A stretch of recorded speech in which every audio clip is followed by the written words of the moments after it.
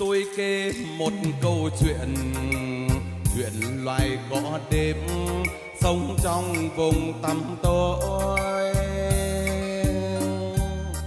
Chuyện thật xa xưa, bây giờ còn nhớ, xin kể cùng người nghe.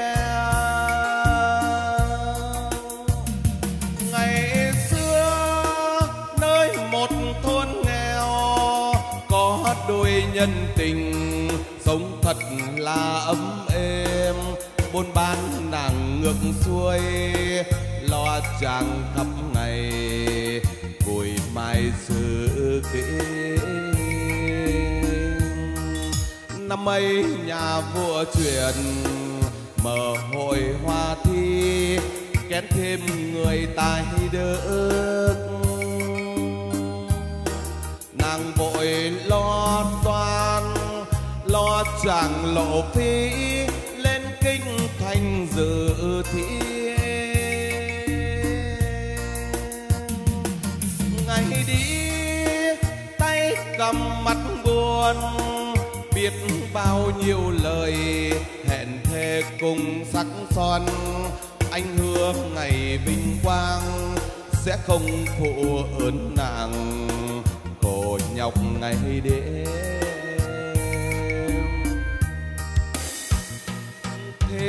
Rồi. Ngày tháng trôi qua, nơi kinh thành xa xôi, chẳng đi mãi không về. Quê nhà em trông ngóng hiu hút bóng tin chàng, nên lòng đau heo.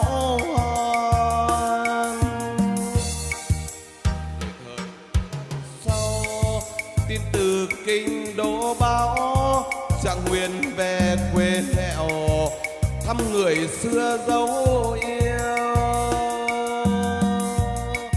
Nhưng khi về đến, thì nàng mới chết hôm qua sau những ngày tháng đợi chờ. Thương xót người chung tình chàng chuyện lệnh say, mộ nàng bằng đá quê. Được một hôm sau, ngay trong lòng đá mọc lên loài cỏ say.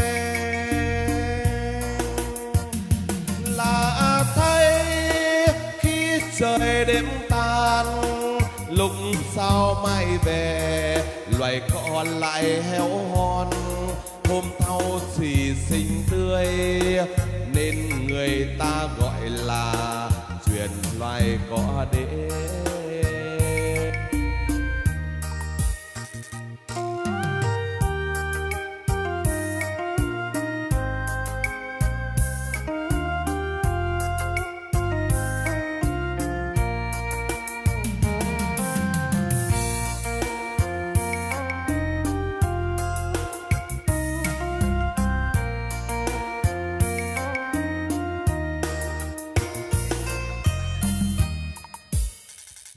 lộc. Kén thêm người tài đức. Nàng vội lo toan, cho chàng lộ phí, lên kinh thành dự thi. Ngày đi, tay cầm mắt buồn biết bao nhiêu lời hẹn thề cùng sắc son. Anh hứa ngày vinh quang sẽ không phụ ơn nặng khổ nhọc ngày đêm. Thế rồi, ngày tháng trôi qua, nơi kinh thành xa xôi, chàng đi mãi không về. Trông ngóng hiu hút bóng tin rằng nên lòng đau héo hon rồi thời gian sau, tin từ kinh đô báo chẳng nguyện về thăm nhà, thăm người yêu dấu xưa.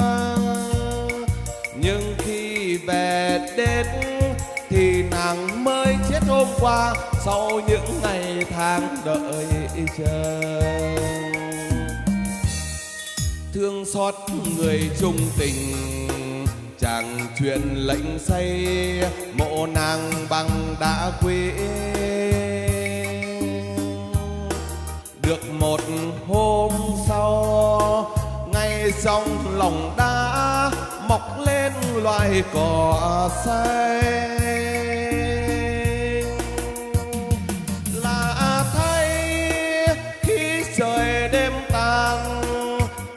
sau mai về? Loài cỏ lại héo hon, hôm sau lại xinh tươi. Nên tường ta gọi là chuyện loài cỏ đêm. Là thay, khi trời đêm tan, lúc sau mai về, loài cỏ lại héo hon lại xinh tươi, nên người ta thường gọi là truyền loài có đêm. Xin hết ạ.